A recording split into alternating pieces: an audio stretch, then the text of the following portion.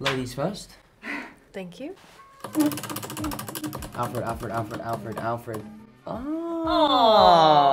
You got me. Uh, a funny memory. I tell you hard. what was really fun was when me, you, and Jacob had to jump off of that scaffolding That was fun.